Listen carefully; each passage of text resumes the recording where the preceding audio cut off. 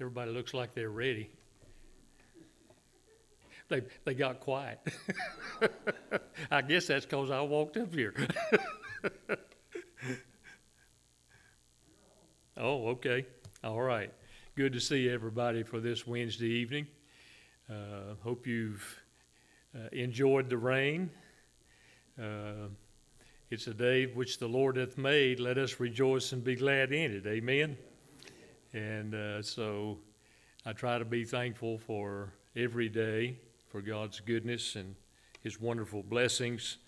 And uh, certainly He's been good to me today. And I, I bet everyone here tonight would say that He's been good to you as well. Thank you for coming out and sharing with us. We're going to get underway with our study for the evening and um, take just a few minutes. You'll have the first choir practice after the Bible study tonight that you've had in, what, over a year, I guess.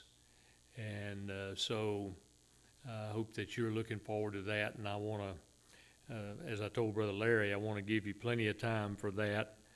So if you have your Bible with you, I'm going to look at one verse of Scripture, but several other passages. Um, but our central verse will be Matthew chapter 12. Matthew chapter 12, if you'd like to be turning there. Remember those that are on our prayer list always, um, and we'll talk more about that in just a few minutes uh, after our study time. But uh, as we pray tonight, let's remember all of the special needs. Pray for our nation. My goodness, how we need prayer. And pray for God's church everywhere, not just here at Benham, but everywhere. Uh, great need for prayer in these days that we uh, are dealing with. Let's go together to the Lord. Father, thank you for your blessings upon us today and the wonderful privilege to be a part of the family of God and to be a part of this local family uh, that represents you here at Benham Baptist. We are grateful for how you have provided in our lives this week. We ask that you speak to our hearts tonight. Uh, may your holy word speak to us. Uh, may our hearts be challenged.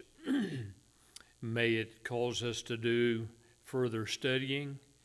And Lord, through all that is done, I pray that uh, you will be uplifted. I pray, Lord, that you will bless all of the special needs of those that we love and appreciate and that we are remembering. May you meet each of those needs as you see fit in your wonderful way to do so. And uh, we'll give you thanks and praise for all that you do as best we know how. In Jesus' name, amen.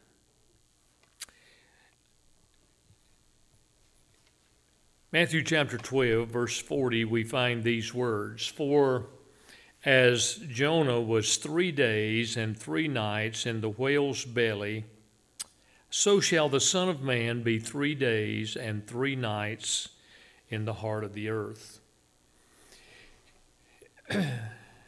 this, of course, is known as Holy Week that we're experiencing now, leading us up to Easter. And uh, this past Sunday, being Palm Sunday, I focused on the crucifixion of the Lord. And of course, that was intended to prepare our hearts to think on what Christ did for us and the great price he paid so that we could enjoy the liberty that we have in him as believers. Um, but there's a question that has uh, been on my mind for most of my Christian life.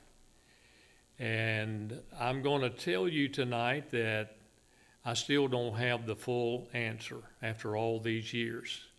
But I'm going to share something with you, a few things that uh, uh, hopefully will maybe cause you to go in search of more information, more scriptures, and so forth. I want to ask a question, and that question is this And you might say, well, now, boy, I know the answer to that. I know that right off the top of my head. I can tell you the answer. Um, and that's fine if you're that confident. But the question is this on what day was Jesus crucified? On what day was Jesus crucified? Um, I thought at one time about just taking a poll to see, uh, you know, who said what, but I don't want to put you on the spot with regard to that. Um, Peter said on one occasion, as he was talking about the writings of the Apostle Paul, that there were things that Paul had written which were uh, hard to understand. Some of those things hard to understand. In 2 Peter chapter 3, verse 16. And he goes on to say that there are those who are unlearned who want to wrest, is the word he uses there in verse uh, 16 uh, meaning to twist uh, out of the correct meaning or to distort what is being said. And he said there are people who do those things about some of the hard things that are understand, uh, uh, that are not easy to be understood that Paul has written. Well, uh, I would suggest unto us that this is a hard one to understand. And I want to be fair about that and tell you up front that I'm not here to give you uh, a finite answer to that question tonight. I want you to know that up front. I've studied for years and years, all of my life, and I'll give you some things to think about uh, that hopefully will be good. But I, no doubt, like you, have over the years uh, heard many discussions about what day of the week Jesus was crucified on. There are folks that believe it's on Wednesday, there are folks that believe it's on Thursday, but the majority believes that it's Friday. But is that, is that true? Which one of those is right? Um, and like I say, uh, we would probably generally um, speaking, answer the question by saying, oh, he was crucified on Friday. That's why we celebrate Good Friday. Um, but let me tell you that that is the date that was set aside hundreds of years ago by the church to be the date recognized uh, as uh, the date of the crucifixion of the Lord Jesus. But is it the correct day? Is it the correct day?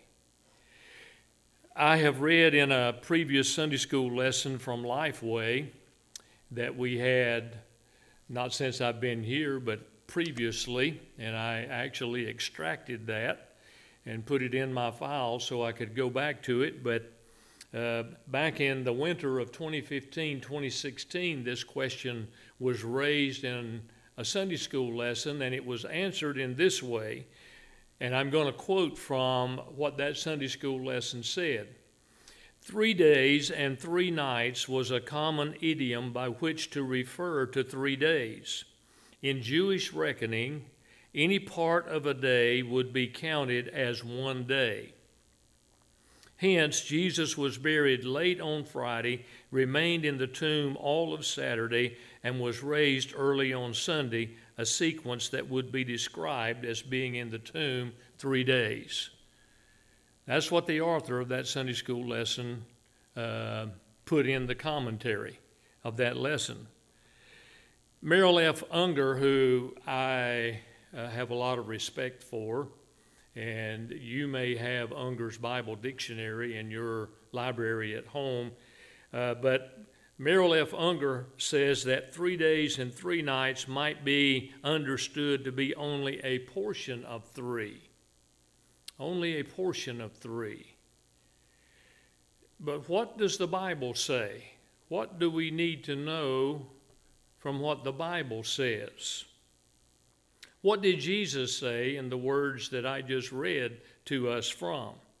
Let's go back to it and look at it again. In my Bible, those words are in red, which that means that's what Jesus said, right?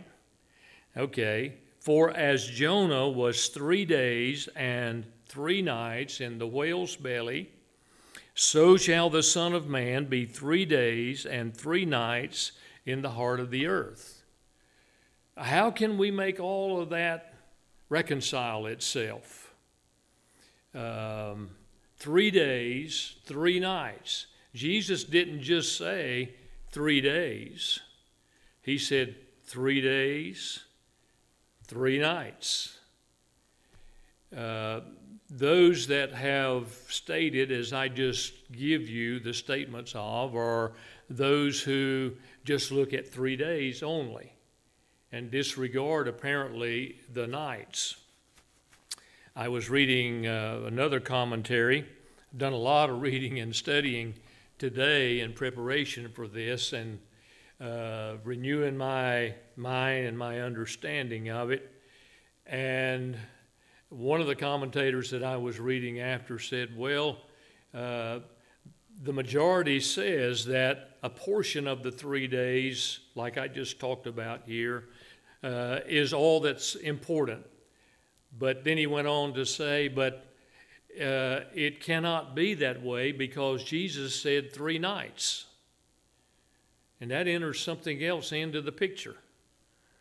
So how do we how do we make it speak to us uh, truthfully then in terms of what our Bible says? Well, to, to start the process of helping to uh, give you something to think about, I want to go back into the book of Genesis, to Genesis chapter 1, and I want you to look at something that is very familiar to you that you may uh, read and just kind of gloss over not that you mean to, it just doesn't jump out at you uh, sometimes, but it has jumped out to me uh, in the past, and it jumps out to me tonight.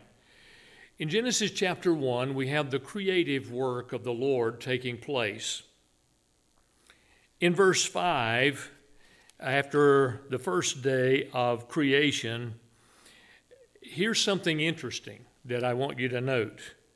And God called the light day, and the darkness he called night. Now, that's pretty simple. We understand that, don't we? We know what that means. And the evening and the morning were the first day. The evening and the morning were the first day. Look at verse 8. And God called the firmament heaven, and the evening and the morning were the second day. So, in God's uh, economy, this seems to suggest to me that day is not what you and I know as a day. Daylight and darkness, in God's economy, it's the reverse of that. It's darkness and daylight. You ever seen that in your Bible? You ever thought about that? All right, look, look again at uh, verse 13. And the evening and the morning were the third day, on the third day of creation. You follow it right on through. Verse 19. And the evening and the morning were the fourth day of creation. Uh, verse 23. And the evening and the morning were the fifth day. And verse 31 gives us the sixth day, and God saw everything that he had made, and behold, it was very good, and the evening and the morning were the sixth day. The evening and the morning were the sixth day. What is significant about the use of, of that terminology in the Bible? Well, we understand, of course, that it is used to speak of the 24 hours which make up a solar day. There's no question about that. We understand that to be the case. We understand that the word day is also used in the Bible to speak of significant days, like, for example, the Day of Atonement. That was a very important day uh, associated with the feast celebrations of the children of Israel. We know that in the Bible, a day is also used to speak of a period of time which can cover a few days or many days which God works in a particularly planned way in accord with His design and His will. Like, for example, what's the time that you and I are now living in as believers in Christ? What do we call this time period that we are living in? The day of grace. The day of grace. That's what we call it. It's referred to as the day of grace. And so there are many days, many years in this dispensation of the day of grace. In the text of Genesis 1, however, we find that it has to do with the creative day that God used to do his work. And each day speaks, of course, as we've noted, of a 24 hour period, just like you and I know a 24 hour period, except it speaks of it, as I said, a bit differently. The evening and the morning make up the day. So, what that would mean to us then is that presumably the day would begin at sunset or around 6 p.m. 6 p.m. or around sunset. Now, let's go back to Merrill F. Unger. He says in his dictionary that the Jewish day was the period from sunset to sunset. The next uh, and the next day would begin. Sunset today to sunset tomorrow, that's one day. And that was God's creative day. We have scripture to back that up. God defined it with his institution of the Day of Atonement that I mentioned there just a moment ago. And here's what God had to say about the Day of Atonement in the book of Leviticus, chapter 23, verse 32, as he gave this instruction to uh, Moses. He said, It shall be unto you a Sabbath of rest, and ye shall afflict your souls in the ninth day of the month at even, comma, even or from even unto even shall ye celebrate your Sabbath. So, from sunset to sunset, this celebration is to take place of the Day of Atonement. Not like what you and I do in terms of celebrating our day. Uh, note also that it was to be, that particular day was to be a Sabbath of rest.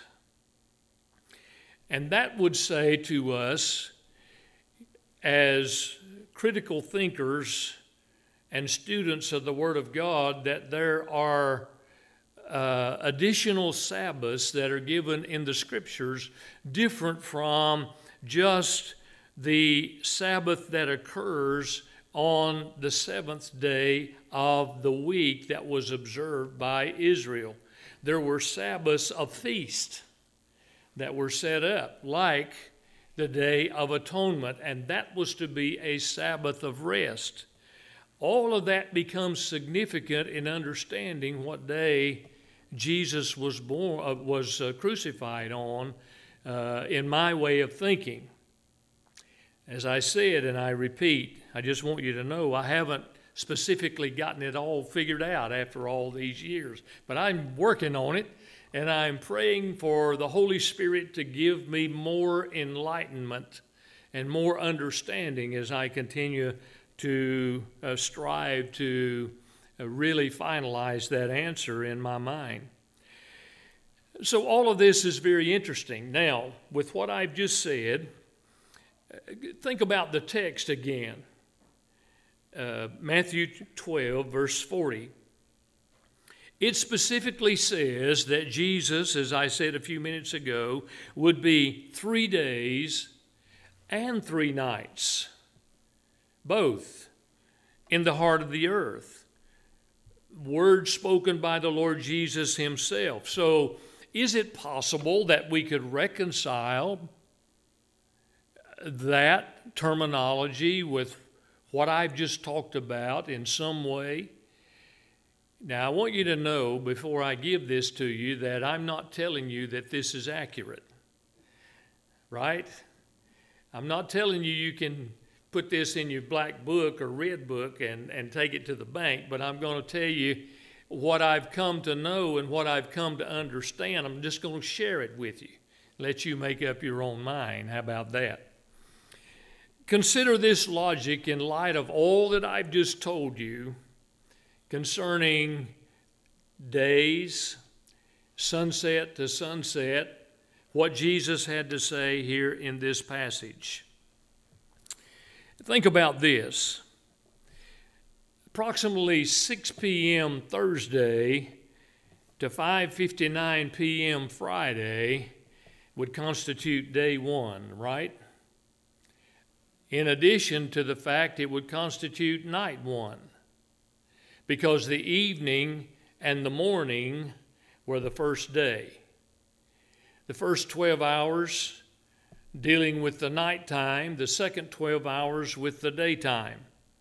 6 p.m. Friday to 5:59 p.m. Saturday would constitute day 2. Does that make sense?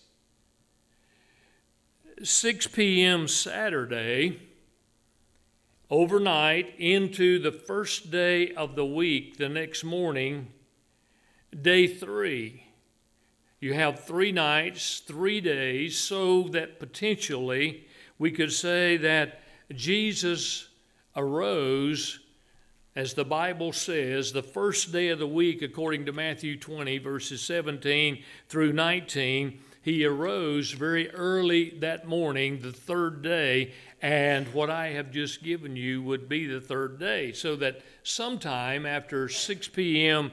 Saturday, Jesus arose because when they came to the grave site early the next morning, they found the stone rolled away and they found the sepulchre empty.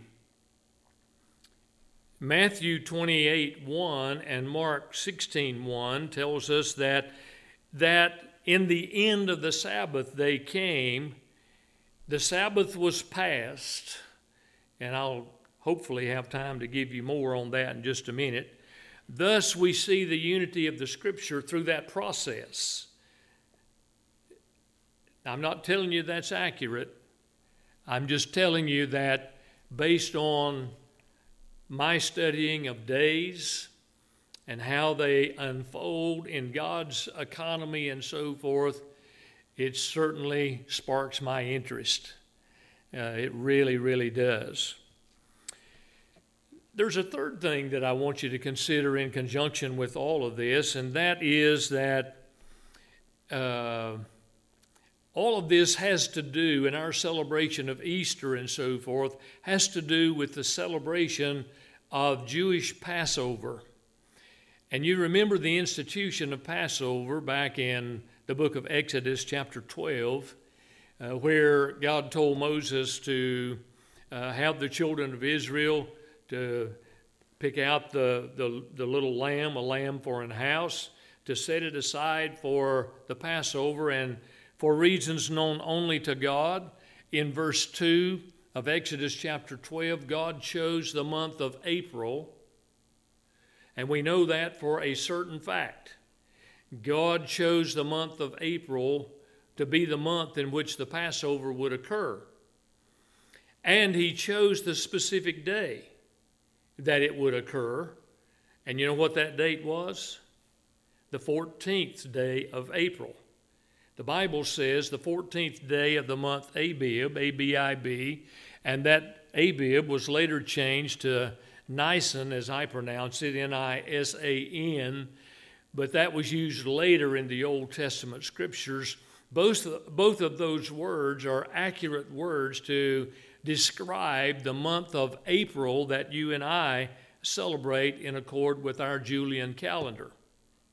Now, there are folks who get into uh, looking at calculations based on the Julian calendar and the Gregorian calendar, and there are different days and so forth associated with each of those approaches. We, of course, are more familiar with the, uh, the, the Julian calendar, And so the 14th day of April was the date of the uh, slaying of the Passover lamb, and Israel was to take that uh, blood, put it on uh, the lintel of the door and the two side posts, and then that night they were to uh, celebrate the feast and eat of the meat from the slaying of that lamb, and if there was any left over the next morning, they were to dispose of it and not eat of it. It all had to, uh, to, to be done in accord with God's time frame. So I know then that uh, the 14th day of April is the day that God said that the Passover lamb was to be slain. I know that that's exactly when it occurred uh, in its first institution with uh, Israel there uh, in Egypt before she was set free to leave that and uh, go forward uh, toward the land of promise.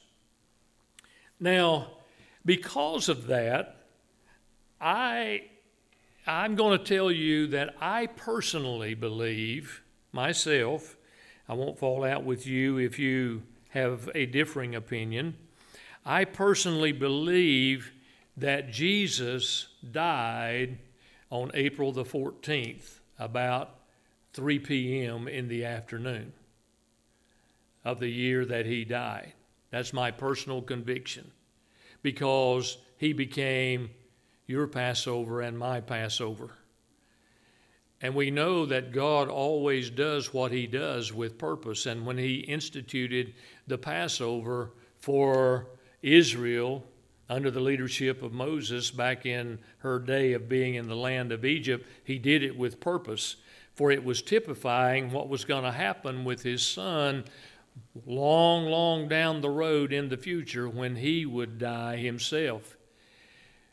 But there are uh, commentators and so forth who talk about that and they say, well, there's, uh, there's issues with that.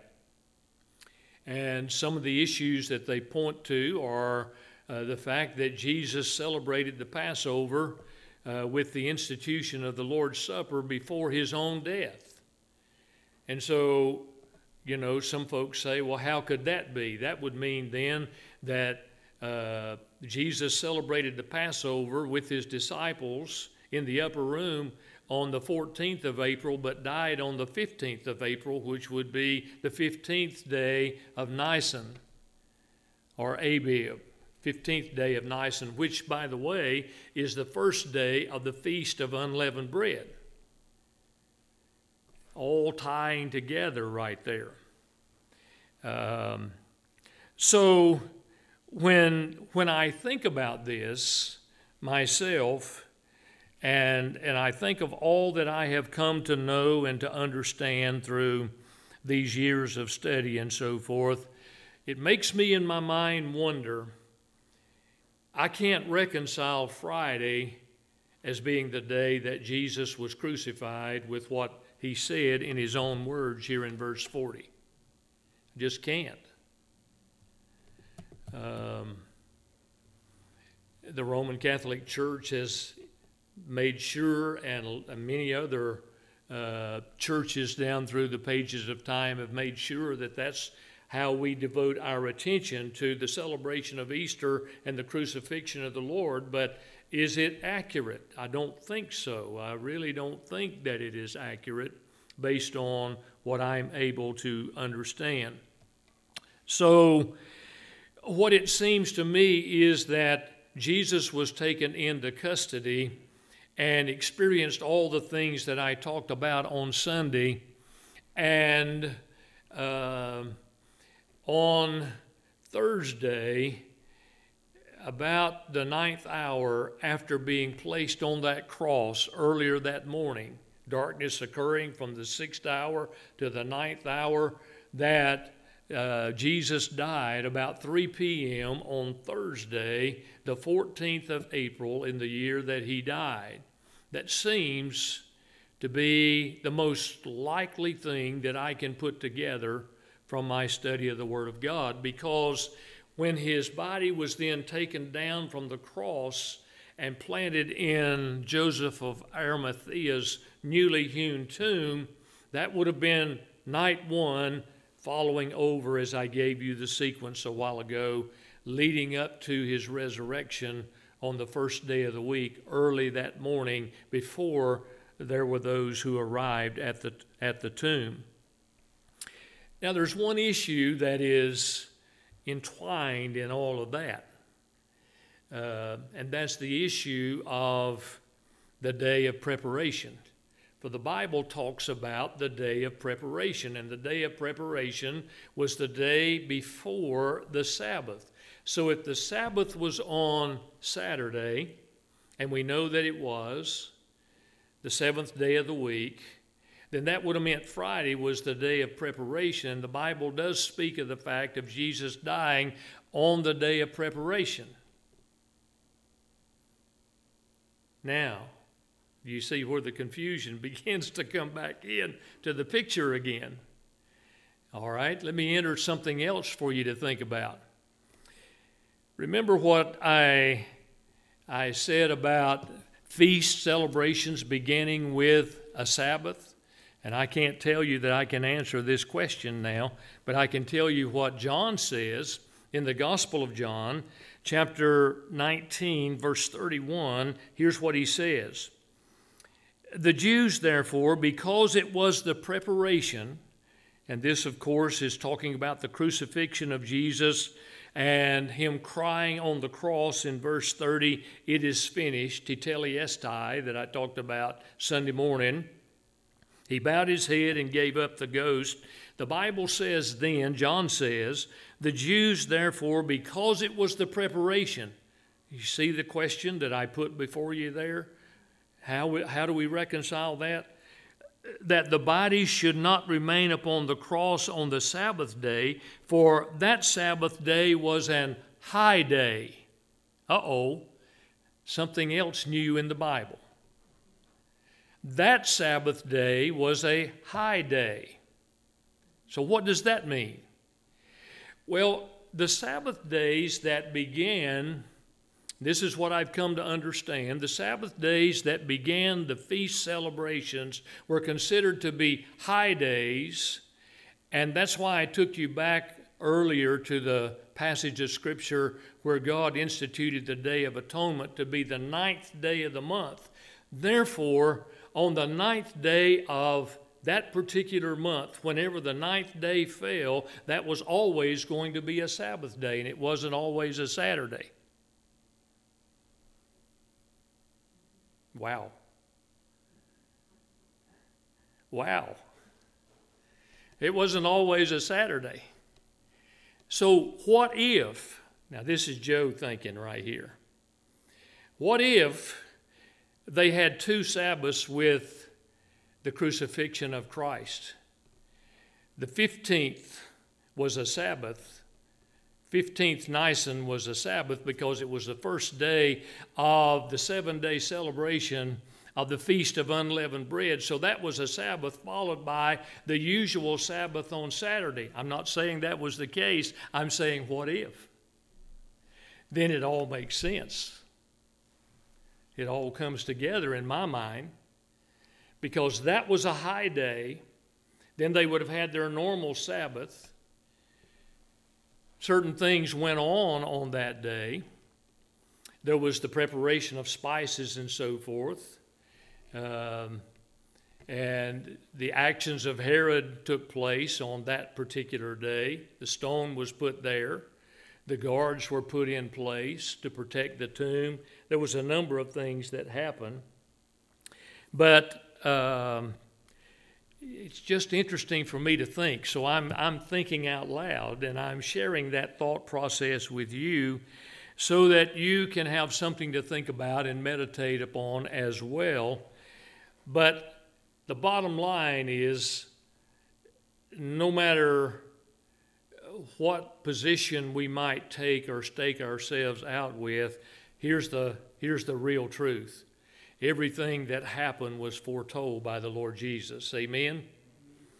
Peter absolutely proclaimed that everything happened just like it was supposed to happen whenever he preached to the Gentiles in the house of Cornelius in Acts chapter 10.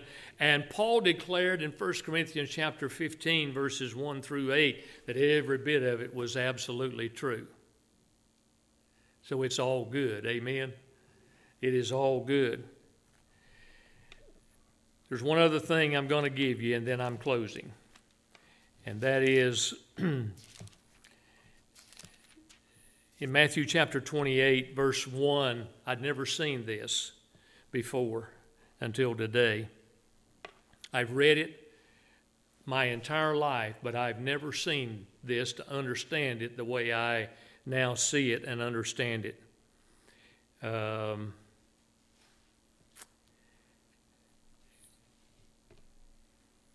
In verse 1 of chapter 28, Matthew leads off by saying, In the end of the Sabbath, as it began to dawn toward the first day of the week, came Mary Magdalene and the other Mary to the sepulchre.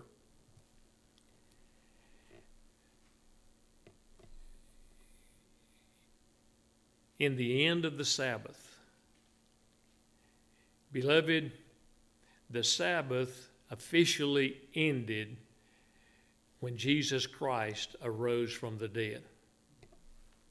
It officially ended. That's why Matthew said here, in the end of the Sabbath, it was the last one that would ever be recorded. The end of the Sabbath. The seventh day of the uh, order of the law of Moses that Israel was to worship God Worship then trans uh, uh, or, or moved to the first day of the week, and we re, uh, we observe the first day of the week for our celebration. I've known that, of course, all my years, but we hear people sometimes who don't quite understand. That's why I point this out. They will sometimes pray on Sunday morning, Lord, we thank you so very much for this beautiful Sabbath day. It's not. It is not the Sabbath day, it's the Lord's day. It is the first day of the week. The Sabbath ended with the resurrection of the Lord Jesus Christ. And Matthew must have had that in view, maybe with even other things there in verse 1. In the end of the Sabbath, as it began to dawn toward the first day of the week, all things had changed and all things had become new. I hope you've enjoyed the study. It's interesting to me, and I hope you've, I've given you something to think about. You may have your own thoughts about all of this as well. um, Father, thank you for our time together tonight. Thank you for the fact that we can study things like this that are not necessarily totally clear in our minds, but Father, over the course of time, we pray that you will increase our understanding and our knowledge and help us to see more of what your wonderful word teaches us because you have so much there for us to know and to understand. And I love your word. I love you, Lord. I thank you for the presence of the Holy Spirit who leads and guides me as I study. We give you praise and honor now for all that you will do for us through the remainder of this wonderful week of celebrating what you did for us at Calvary. This we humbly pray in Jesus' name. Amen. Okay.